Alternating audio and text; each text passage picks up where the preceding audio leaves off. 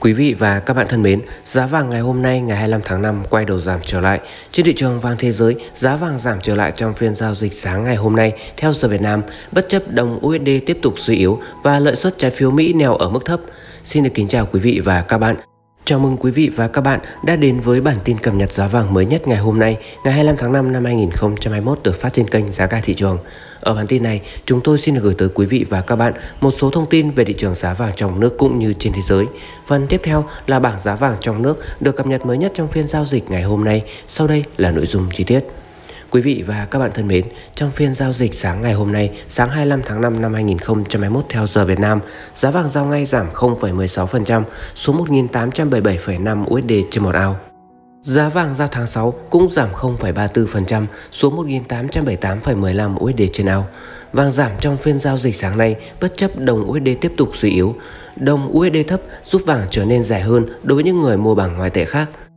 Theo đó, làm tăng sức hấp dẫn và nhu cầu đối với kim loại quý. Tại thời điểm khảo sát, chỉ số đô la index thước đo sức mạnh của đồng bạc xanh so với các đồng tiền chủ chốt khác trong sổ tiền tệ giảm 0,2% xuống 89,825 điểm. Như quý vị và các bạn cũng đã biết, giá vàng đã tăng trong phiên giao dịch ngày hôm qua, thứ hai ngày 24 tháng 5. Nhờ đồng USD yếu và lợi suất trái phiếu thấp thúc đẩy sức hấp dẫn của vàng, trong khi giới đầu tư chờ đợi thêm dữ liệu kinh tế để giúp họ đánh giá tốc độ phục hồi kinh tế tại Mỹ. Vàng đã chạm mức cao nhất kể từ ngày 8 tháng 1 ở mức 1.889,75 USD trên ao vào tuần trước. Theo ông Bo Habaco, chiến lược gia thị trường cấp cao tại LGO Future, sự sụt giảm của đồng USD và lợi suất trái phiếu Mỹ đang hỗ trợ cho giá vàng. Tuy nhiên, đà tăng đang bị kìm hãm bởi thị trường chứng khoán mạnh mẽ. Lợi suất trái phiếu kỳ hạn 10 năm của Mỹ đã giảm xuống mức thấp nhất trong gần 2 tuần, nhờ đó giảm chi phí cơ hội sở hữu tài sản không sinh lời như vàng, theo Reuters. Ở thời điểm này, giới đầu tư đang chờ đợi để xem liệu các quan chức Cục Dự trữ Liên bang Mỹ Fed có bài phát biểu trong tuần này có bám vào chính sách kiên nhẫn hay không. Họ cũng chờ dữ liệu kinh tế gồm cả tổng sản phẩm quốc nội của Mỹ, số đơn xin trợ cấp thất nghiệp và hàng hóa lô bền. Nếu mà dữ liệu xuất hiện tốt hơn đáng kể so với dự kiến, điều đó có thể khiến vàng giảm giá vì khả năng Fed cắt giảm chương trình mua trái phiếu sẽ sớm xảy ra hơn, theo ông Habakon nhận định. Và nói thêm, nếu dữ liệu xấu hơn so với dự kiến, vàng có thể nhanh chóng tiến tới mức 1.900 USD trên một ao. Và hiện tại, sự sụp đổ của đồng Bitcoin cũng hỗ trợ cho giá vàng theo các chuyên gia. Tuy nhiên, theo ông Jeff Chiritiran, đối tác quản lý của CPM Group cho biết việc các chương trình tiêm vaccine tại châu Âu, châu Mỹ và Canada đang mang lại hiệu quả tích cực và điều đó có thể tác động tới đà tăng của giá vàng. Các nền kinh tế đang mở cửa trở lại và hoạt động kinh tế mạnh mẽ, có lẽ giá vàng có thể giảm một chút, theo ông Chiritiran nói.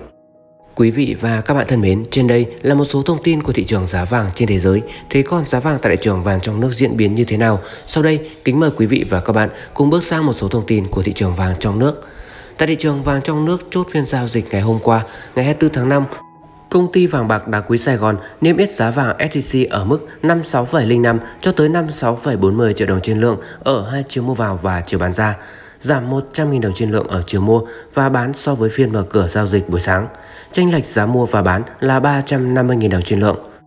Tại Hà Nội, hệ thống bảo tín Minh Châu niêm yết giá vàng SJC ở ngưỡng 56,21 cho tới 56,55 triệu đồng trên mỗi lượng. Giá vàng 999,9 thương hiệu dòng vàng Thăng Long niêm yết ở mức 52,97 cho tới 53,57 triệu đồng trên lượng. Giá vàng trang sức giao dịch ở ngưỡng 52,25 cho tới 53,35 triệu đồng trên mỗi lượng. Quý vị và các bạn nắm rõ hơn về thị trường vàng trong nước, sau đây chúng tôi xin được phép gửi tới quý vị và các bạn bảng giá vàng chi tiết được cập nhật mới nhất trong phiên giao dịch ngày hôm nay, ngày 25 tháng 5 năm 2021 để cho quý vị và các bạn tiện theo dõi và tham khảo.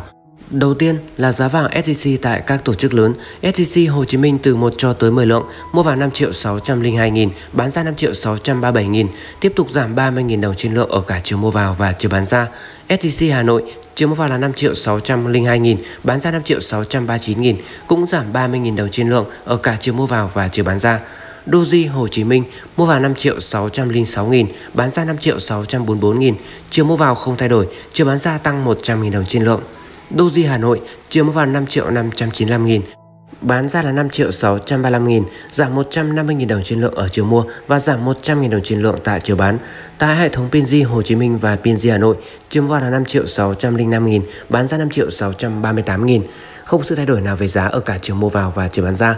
Phú Quý SJC chiều mua vào là 5 triệu 600 nghìn, bán ra 5 triệu 635 nghìn, giảm 70 nghìn đồng trên lượng ở chiều mua và 100 nghìn đồng trên lượng tại chiều bán. Một số giá vàng còn lại quý vị và các bạn vui lòng tham khảo thêm ở bảng giá. Tiếp theo là giá vàng SJC ở các ngân hàng. Đầu tiên là ngân hàng Eximbank, chiều mua vào là 5 triệu 605 nghìn, bán ra 5 triệu 625 nghìn, tăng 30.000 đồng trên lượng ở cả chiều mua vào và chiều bán ra. Ngân hàng ACB mua vào 5 triệu 605 nghìn, bán ra 5 triệu 630 nghìn, giảm 50.000 đồng trên lượng ở cả chiều mua vào và chiều bán ra.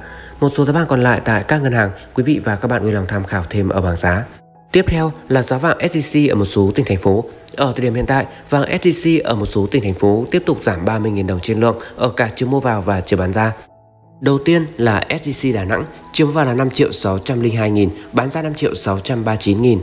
STC Nha Trang mua vào 5 triệu 602 nghìn, bán ra 5 triệu 639 nghìn. STC Cà Mau mua vào 5 triệu 602 nghìn, bán ra 5 triệu 639 nghìn. STC Bình Phước mua vào 5 triệu 600 nghìn, bán ra 5 triệu 639 nghìn. STC Huế chiếm vào là 5 triệu 599 nghìn, bán ra 5 triệu 640 nghìn.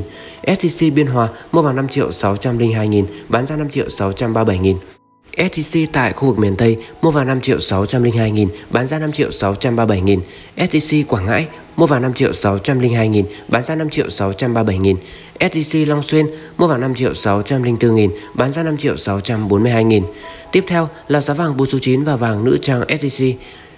Tới thời điểm hiện tại, giá vàng 4 số 9 và vàng nữ trang SJC tiếp tục giảm nhẹ, dao động giảm trong khoảng từ 21 cho tới 50.000 đồng trên mỗi lượng.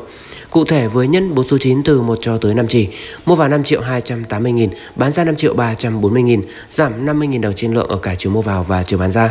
Vàng 4 số 9 mua vào 5 triệu 240 nghìn, bán ra 5 triệu 310 nghìn, giảm 50 nghìn đồng trên lượng ở cả chiều mua vào và chiều bán ra.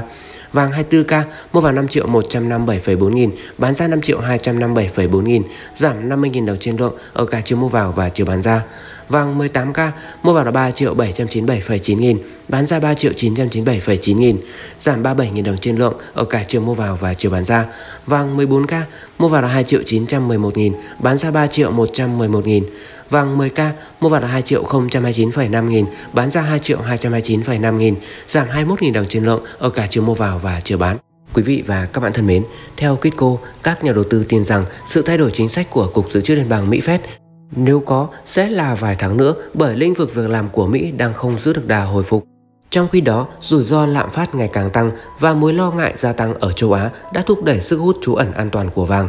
Đặc biệt, sự dịch chuyển dòng vốn vào vàng khi tiền điện tử đang trải qua đợt điều chỉnh rất khủng khiếp đã khiến những nhà đầu tư vàng thêm hưng phấn.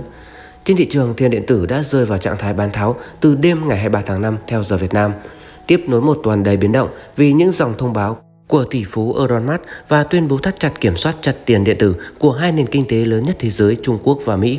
Và dường như với tình trạng như hiện tại, giới đầu tư đang rời xa Bitcoin và mạnh tay mua vàng.